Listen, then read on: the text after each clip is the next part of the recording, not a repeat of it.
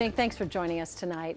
Families and state leaders tonight want to know what's going on at the Hastings Veterans Home. A hearing at the state capitol tonight focused on getting some answers after two administrators at the Veterans Home were fired this weekend amid reports of a toxic work environment.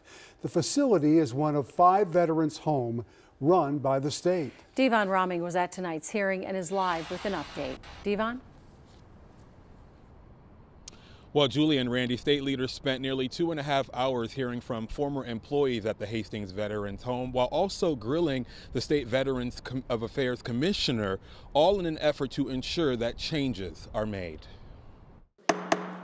Good evening, uh, members. You can call it a new beginning. At the state capitol Tuesday night, Minnesota Department of Veterans Affairs Commissioner Larry Herke outlined a 10 point plan to address what he called major concerns of those living at the Hastings Veterans Home. I do believe I need the 10 point plan, though, to bring us back in and make sure that everyone understands what the standards are. In the plan, Commissioner Herke highlights everything from new ways to report issues to better anti-bullying and sexual harassment training. And we have to hire the right people that will enforce the standards, that will make sure that the attitude within the home is collaborative, it's positive, and that people feel like they're heard. This all coming just days after the firing of Deputy Commissioner Doug Hughes and Hastings Veterans Home Administrator Mike Anderson. It follows years of reports alleging a hostile work environment which allegedly jeopardized the care provided to veterans at the Hastings facility. Your 10 point plan should have been your daily plan, anyways, and we got here because of a, of, of a broad systems of failures, which you were the head of.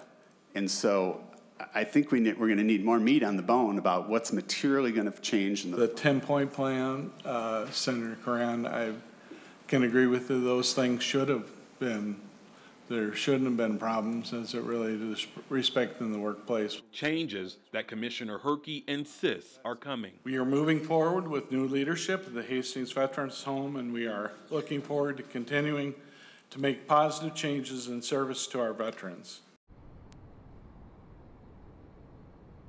Now, Commissioner Herke says he has to fill those two vacant leadership roles within the next 120 days. In the meantime, an, an interim administrator is leading the facility. Randy? All right, Devon, thank you. The shakeup at the Hastings home also grabbing the attention of Governor Walz, who said today he supports what's best for the veterans. I think um, an environment where the workforce is respected, making sure that they're at the top quality to be able to deliver. And I think that the leadership over at the department made the decision that it was time to look for new leadership. And so I certainly support them in their move to, to move to that accountability piece. Governor Walz says he will keep a close eye on the situation in Hastings, but is positive the VA will pick the right people for the job.